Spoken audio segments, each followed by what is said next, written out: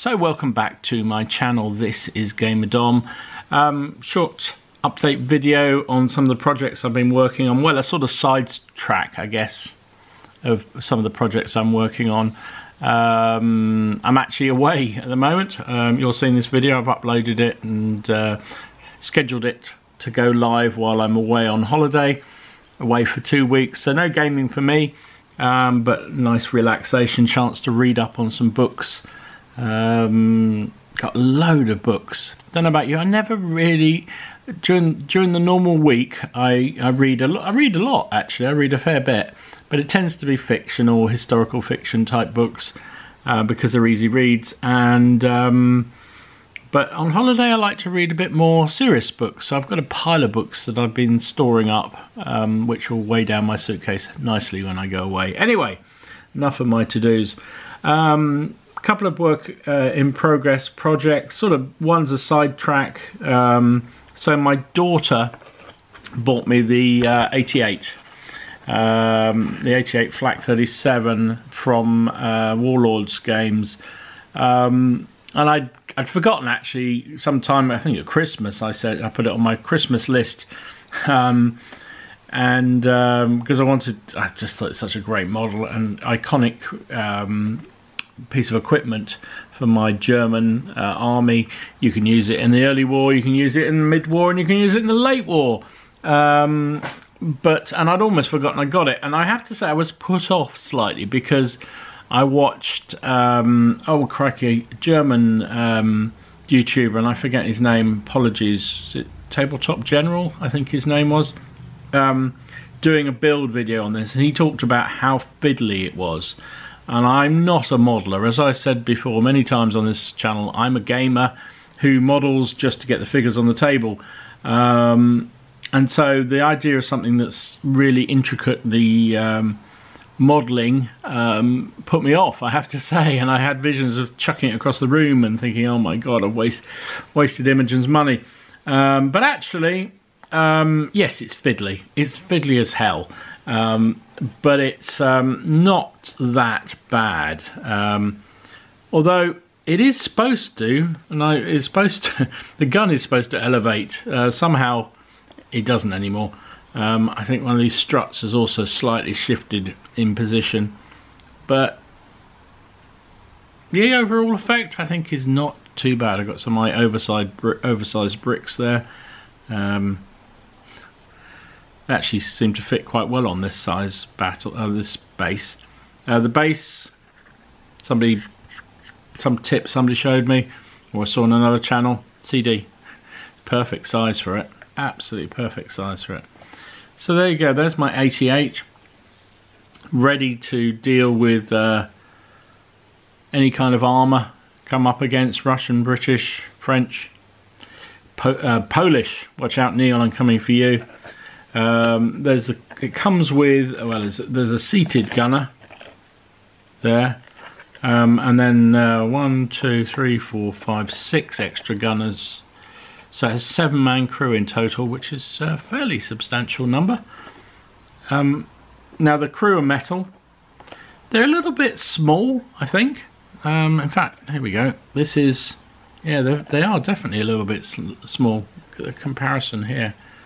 So on the newer Rus well, on the Russian plastics, would help if I move my fat fingers out of the way. Oops. Yeah, that show up. So they're a little bit, they're a little bit small, but they got a big ass gun, so who cares? So yeah, um, model was fiddly, a lot of intricate little bits and bobs.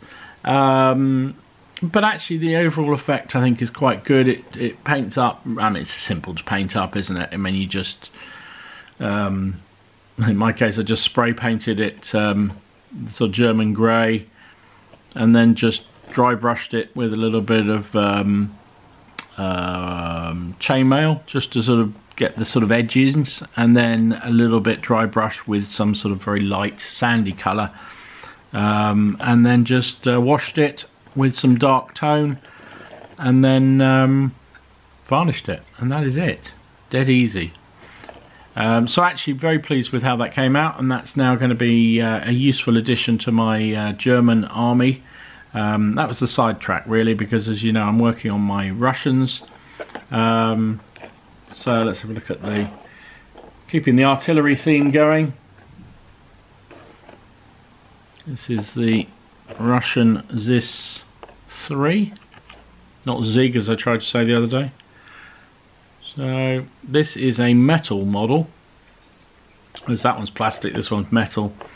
Um, only a couple of bits.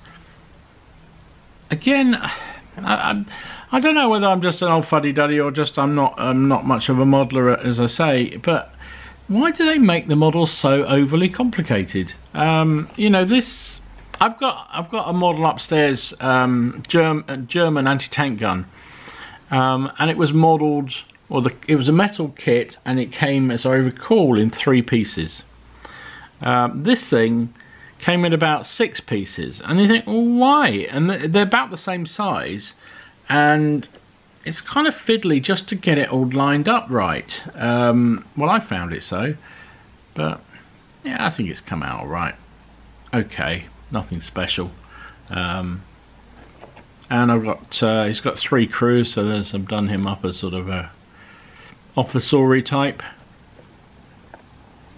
and then the grunt moving the shells or moving the charges forward, ready to go. So that that's going to be a useful addition to my Russian army. Um, still working through the squads on that, um, and also um, move this forward. Then there's another. Oh, well, actually, I think it's my first LMG squad. Was LMG team. Sorry. Um, oops. So, yeah, he's all right mentioned before, I find these plastics really fiddly. Really fiddly to get their arms right. But I thought I'd put him so the the the, the assistant is obviously holding a spare mag. A mag? Whatever it is. Um, it is it is definitely holds bullets, I know that much, but I don't know whether it's called a magazine, I guess it is. Um, and um, pointing the way. And then the guy prone firing away. So yeah, quite happy with that. That's another addition to the squad. So um, I think I'm up to about two squads, an LMG, um, uh, two squads, the SMG squad, um, couple of anti-tank rifles, um, this LMG, uh, the light mortar, the medium mortar, and all the tanks that I've done in the Russians. So uh, I've got more to do, plenty more to do. You can never have enough Russian infantry, uh, from what I can see. So um, quite pleased to actually get that running, but as I say, it's going to be away, so there's going to be a bit of a hiatus, a bit of a, a break from the painting for a little while, a bit of recharge, um, and a bit of uh, inspiration uh, for the uh, inspirational reading for new periods and new things to do. Anyway, thought you'd appreciate a quick update. Um, thanks very much for the continuing subscriber base. Um, up to well over 200 now, which is uh, which is amazing. So thanks for everyone who has um, signed up recently. Uh, if you haven't, uh, please just click that subscribe button and um, say hi in the chat. It's a friendly bunch. I mean, it's one of the things I mentioned in a video I did before I went away. Um, one of the reasons I start this channel was uh, for that sort of interaction you get with other gamers that aren't necessarily in your immediate um, sort of circle of friends um, and sort of getting tips and tricks and ideas. So share it, talk, and that's the way to do it. Just have a chat uh, in the chat, chat in the chat. Anyway, thanks for watching. Hope you enjoyed it. If you did, please give it a like, and as I say, subscribe if you haven't already done so. And um, enjoy your games, whatever you're doing. May dice roll high or low, depending on what you need. And I'll see you again soon. This is Gamerdom signing out.